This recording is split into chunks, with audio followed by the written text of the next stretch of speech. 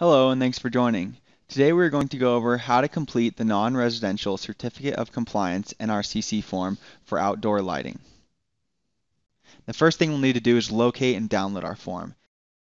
You can do that by going to the California Energy Commission's website, hovering your mouse over Rules and Regulations, and selecting Building Energy Efficiency. You can also search Title 24 Part 6 in the keyword search bar. You'll see Building Energy Efficiency Standards Title 24 as the first item under Program Information. And today we'll be completing these forms using the 2019 Building Energy Efficiency Standards. Buildings permitted on or after January 1, 2020 must comply with the 2019 standards. You'll see 2019 compliance forms, and we're looking for the non-residential compliance forms. You'll see the four form types used in Title 24 Part 6, and again today we're going to be looking for and completing the NRCC forms. One of the great features of having dynamic forms is the ability to have only one form per compliance category. So here you'll see 10 forms, one for each compliance category regulated under Title 24 Part 6, and again we're going to be completing the outdoor lighting form labeled as LTO. We will go ahead and open that download and when you do, you'll notice you get a warning message that says your PDF viewer may not be able to display this type of document. Now this is because the web browser plugin for Adobe Acrobat Reader does not support dynamic forms, so we will go ahead and download that directly to our desktop with the download link that can be found in the top right hand corner of your screen and save it somewhere you will remember. When you open your downloaded dynamic form, you want to make sure to use Adobe Acrobat Reader. Always use Adobe Acrobat Reader when completing dynamic forms. Adobe Acrobat Reader is a free software that can be easily downloaded by going to adobe.com or by searching Adobe Acrobat Reader download. Adobe Acrobat Reader is the only software that is compatible with the dynamic features of this form. If you typically use Bluebeam, CAD, Adobe Pro, or other PDF reading software to create and store your project documents, you will need to use Adobe Acrobat Reader to complete your dynamic form, and then add the completed form back to your plan set in the PDF software of your choice. Later in this video, we will cover that process in detail. At this point, you may be wondering, what is a dynamic form? Dynamic forms allow the user to engage directly with the content and have the ability to react to user input in real time.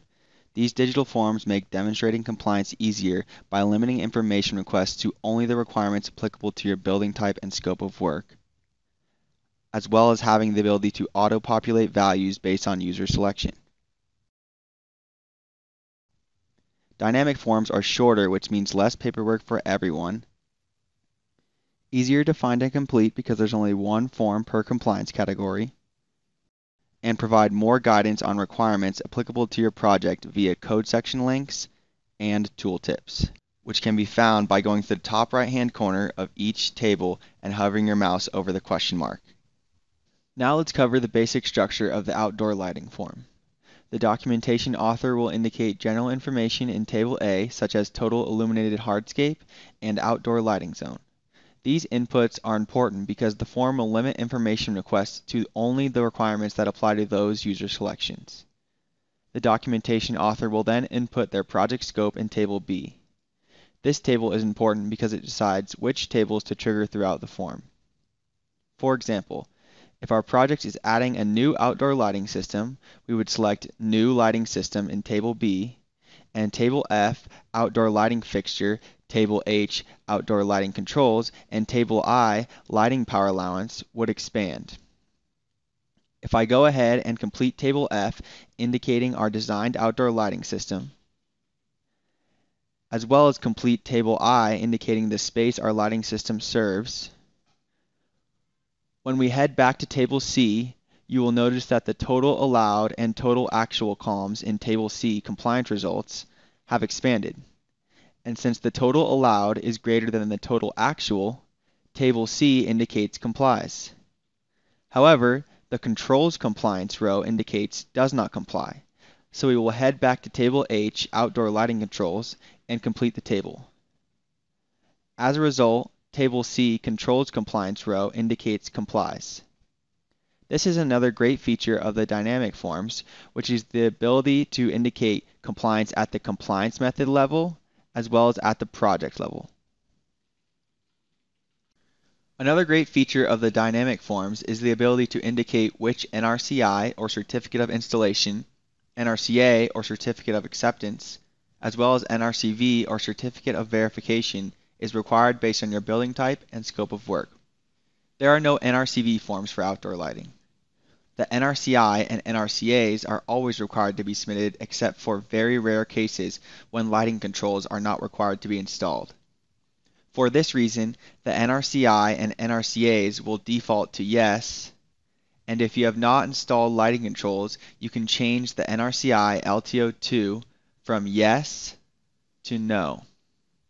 When the user makes a change in these NRCI, NRCA, and NRCV tables, Table D, Exceptional Conditions, will automatically generate a note for the plans examiner that indicates a change has been made in Table O by the permit applicant.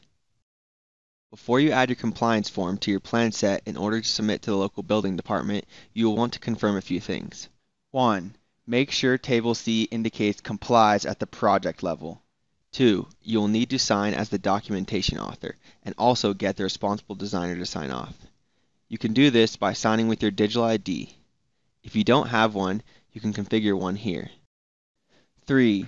Make sure your project name and address have been added to the form and are accurate. Once you have completed those checks, you are ready to add this form to your plan set. If you typically use Adobe Acrobat Reader to create and store your project documents, your workflow does not change. If you use Bluebeam or another PDF software, you'll need to save a copy of your completed compliance form and then print to PDF. You can do this by going to File, Print, and selecting Microsoft Print to PDF. Then click Print to save a copy of your static form. This static version will no longer be editable. You can then add this static version to your plan set using your PDF software of choice. Saving the completed file in Adobe Acrobat Reader is very important. Without this file, you will no longer be able to go back and make edits to the form, as the static version you added to your plan set will no longer be editable. Thanks for joining our short video. If you need information on one of the other nine Certificate of Compliance forms, look for your form in our 2019 Dynamic Form Introduction video series. For more in-depth information, you can check out the Energy Code ACE decoding talk on the 2019 non-residential dynamic forms, as well as the great handout associated with that decoding talk. Energy Code ACE also offers a Code and Coffee video series where we take you through a specific project scenario using an example plan set and complete the form as if we were submitting to the local building department for a real project. You can find these resources on energycodeace.com or the Energy Code ACE YouTube page.